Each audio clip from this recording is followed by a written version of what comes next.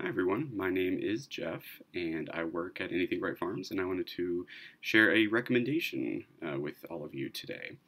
Um, so I think like a lot of you, the, the last you know week especially has been you know very anxious. Um, every time you turn on the news, it's it's easy to get overwhelmed.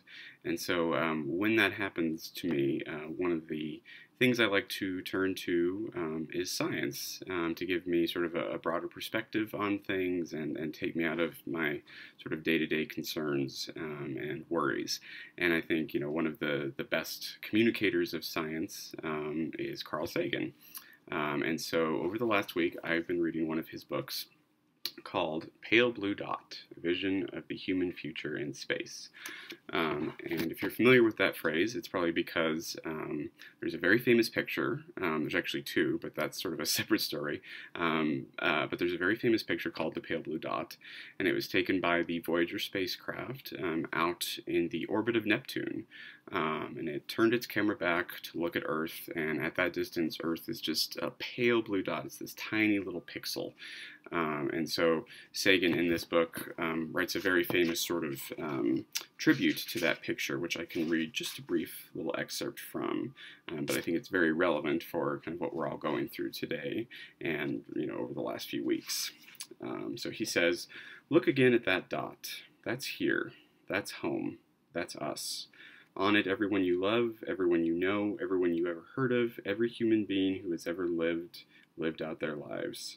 The aggregate of our joy and suffering, thousands of confident religions, ideologies, and economic doctrines, every hunter and forager, every hero and coward, every creator and destroyer of civilization, every king and peasant, every young couple in love, every mother and father, hopeful child, inventor and explorer, every teacher of morals, every corrupt politician, every superstar, every supreme leader, every saint and sinner in the history of our species live there, on a mote of dust suspended in a sunbeam. It has been said that astronomy is a humbling and character building experience. There is perhaps no better demonstration of the folly of human conceits than this distant image of our tiny world. To me, it underscores our responsibility to deal more kindly with one another and to preserve and cherish the pale blue dot, the only home we've ever known.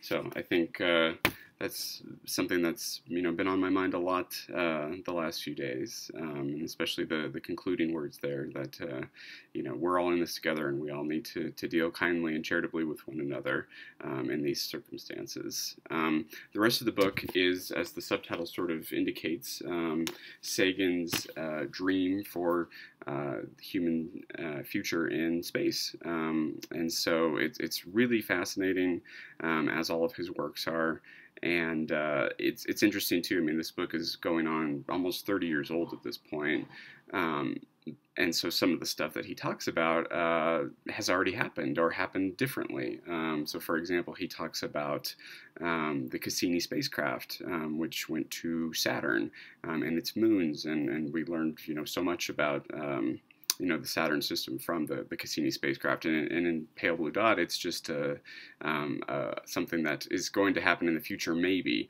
And so to to read it now, knowing that this has happened, that the you know this dream has come true, is really interesting and and gratifying. It sort of it shows you, I think, what what we're capable of when we put our minds to it, and and what science can can do at its best. Um, and so I think, again, these are all things that are, are helpful to remind ourselves of nowadays. Um, so if you like Carl Sagan um, or you're, you're looking for a, the cosmic perspective on things, um, I can't recommend Pale Blue Dot enough. Um, it is available as an ebook uh, through Overdrive or Libby. Um, as of this recording, it's still available. Um, there are several other Sagan books that are available through Overdrive, um, including uh, The Demon Haunted World, um, The Dragons of Eden, which is one of my personal favorites, um, his novel Contact. Um, so if you're, you know, if you're in a Sagan mood, well, there's definitely many resources. Um, visit anythinklibraries.org to to check them out. you can go to the stream and download uh, section for some guidance guidance and uh, directions on how to use Overdrive um, if you've never done so before. Um, and there are also plenty of uh, videos of Sagan on YouTube. Um, part of the Dot audiobook, I believe, is available for free on YouTube, so you can check that out. Um, and yeah, um, I hope you enjoy that. I hope that kind of uh, provides some diversion and, and, maybe even some hope for you uh, while we're all stuck at home. And um, and yeah, stay safe out there. And thanks for watching. And uh, be well.